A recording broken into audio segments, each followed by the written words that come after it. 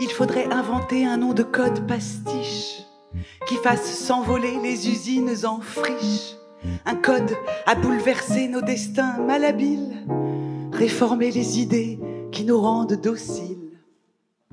Il faudrait inventer pour nous pauvres humains une poudre à savourer la lumière du matin, un parapluie à larmes pour sortir bien couvert, des lunettes de charme pour ceux qui n'osent pas plaire.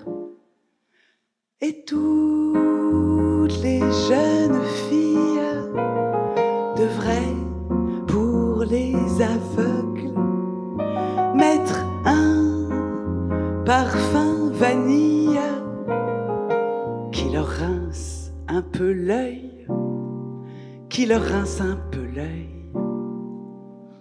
Alors armés de bien, on pourrait dire aux guerres qu'elles aillent voir si demain les hommes seront moins fiers. On construirait